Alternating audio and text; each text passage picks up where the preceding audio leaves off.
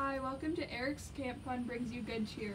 I'm Lily Billingsley, I'm 17, and I have three dogs named Emmett, Otis, and Russell. Today we're going to be making butterfly picture frame holders, or picture holders, sorry. Um, so first you're going to get this butterfly holder, and then to decorate it, you get a pack of markers, some gems, some googly eyes, and some glitter glue. So first, you can really just decorate this however you want. I'm going to put some polka dots on it with my marker.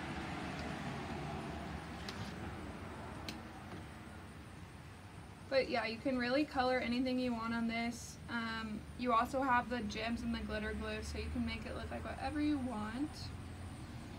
Okay, I'll finish up coloring here.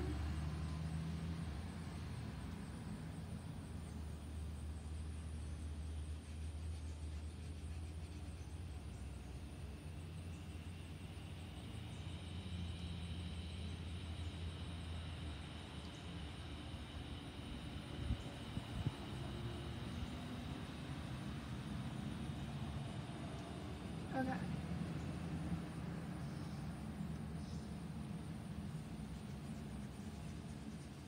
Okay, so right now it just looks like this.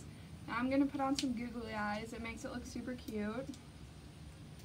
You just peel them off.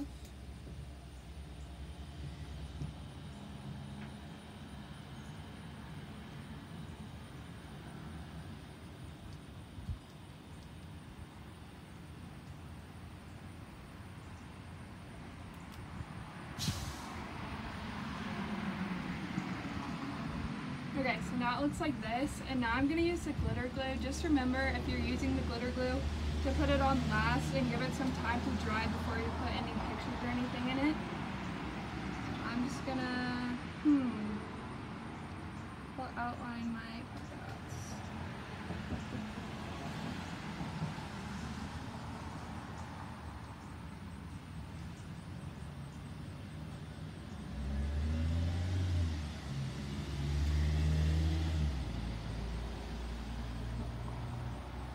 Okay, so I have this side that looks like this. I also did the other side.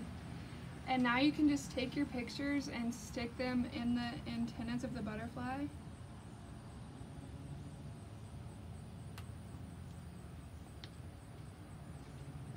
And you can have them both facing the same way or you can have them facing different ways if you want it to be seen from both sides.